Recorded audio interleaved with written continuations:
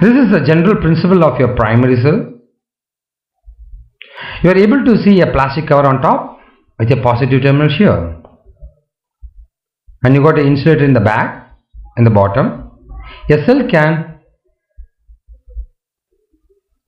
and this is your welded, welded and a glass to metal seal here. This is the one.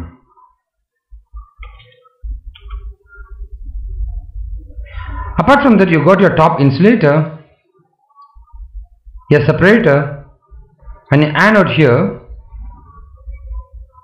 and this is your cathode. So, the cells from which the electric energy is derived by irreversible chemical reactions are called primary cells. The primary cell is capable of giving an EMF, a current, when it constants with the two electrodes and the electrolytes which is assembled together.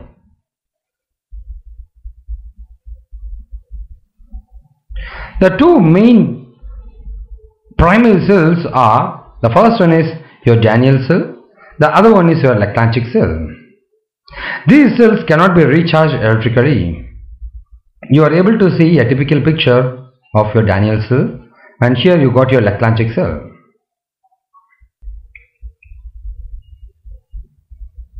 Further moving about the Daniell cell, it's a primary cell which cannot supply steady current for a long time.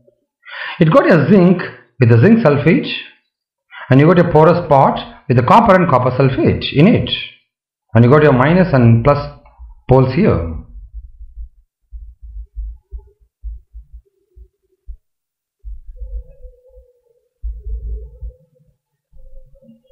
So the zinc rod reacting with the dilute sulfuric acid produces zinc plus plus and two electron zinc pluses pass through the pores of the porous part and reacts with the copper sulfate here producing copper plus plus ions. The copper plus plus ions deposit on the copper vessel. When Daniell cell is connected in a circuit, the two electrons of the zinc pass through the electron sectional circuit and reach the copper vessel, thus neutralizing the copper ions. You are able to see the weak zinc sulfate solution and this is a zinc rod and saturated copper sulfate solution with a copper rod or copper plate in it. This constitutes an electric current from copper to zinc. Daniell cell produces an EMF of approx of 1.08 volt.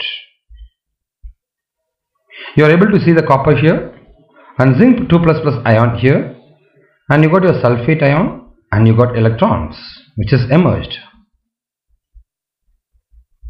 We'll talk about the Leclanche cell which is another kind of a primary cell. It got a carbon rod and you got ammonium chloride. It's powdered carbon and manganese oxide and it's placed in a glass jar with a zinc rod in it.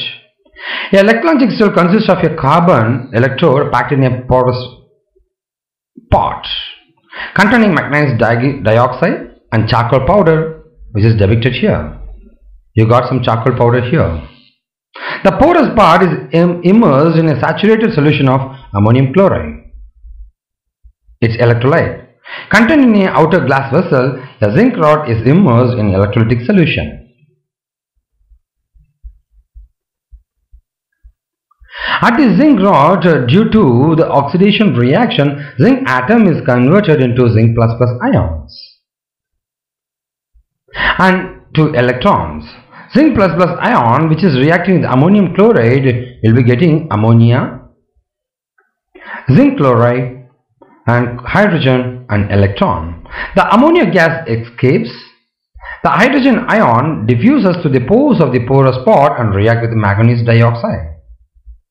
In this process, the positive charge of hydrogen ion is transferred to carbon at carbon rod.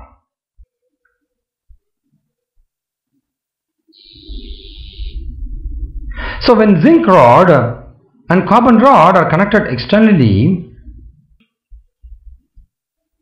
the two electrons from the zinc rod moves towards the carbon and neutralizes the positive charge thus electron flows from carbon So from zinc to, from uh, carbon to zinc. From here to here. So Leclanche cell is useful for supplying intermittent current.